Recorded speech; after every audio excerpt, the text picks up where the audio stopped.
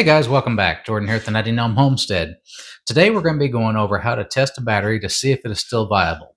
Have you ever gone to your junk drawer, pulled out a battery for an electronic, only to find out that it wasn't still good? There is nothing more frustrating than going through the work of replacing the batteries in one of your electronics, only to find out that the battery should have been thrown away. So today I'm going to show you guys a quick and easy trick on how to get your batteries tested to let you know if they're still viable or if they just need to be replaced. Real easy to do. Anybody can do this. The equipment isn't very expensive either. So why don't you guys come in close and I'll show you how to test your batteries. So today I had a remote here that I was going to put a battery in and my battery wasn't turning on. So I want to show you guys exactly how you can get these tested out. It's really simple. Get yourself a voltmeter. You can get a cheap one for about seven, eight bucks from Harbor Freight, or you can go on Amazon, get them. I'll leave a link down below. You can go to your box stores and get them. These things can be had just about anywhere, guys. We got our various batteries over here. We got some double A's, a 9 volt, a D cell.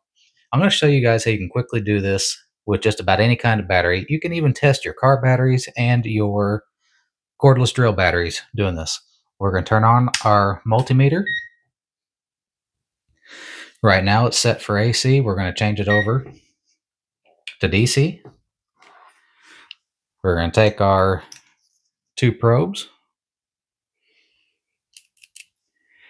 We're going to start off with a double A battery.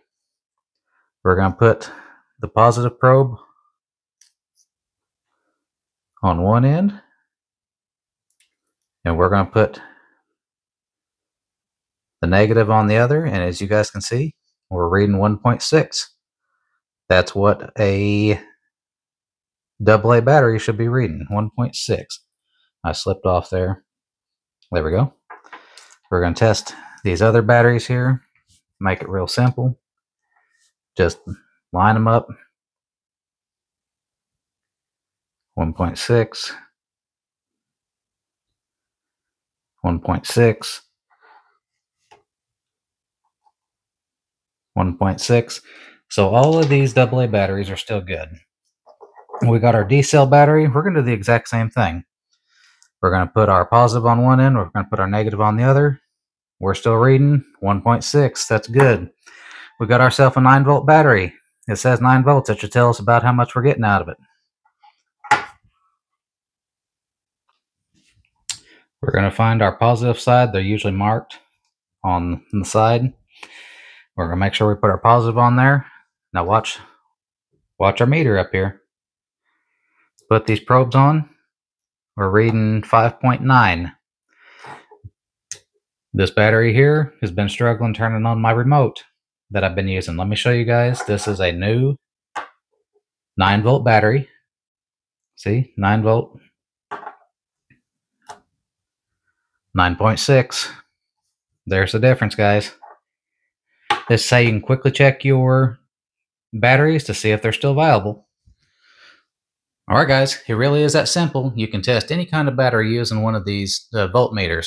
That's what they're designed to do. They also can check to see if you've got continuity, if you have your uh, AC in your house. You guys can check any of the, the different voltages that you have with one of these things. They're real handy to have around. You can get real cheap models. You can get the more expensive models. They all work about the same. The higher end models typically have more features on them that's really the only difference.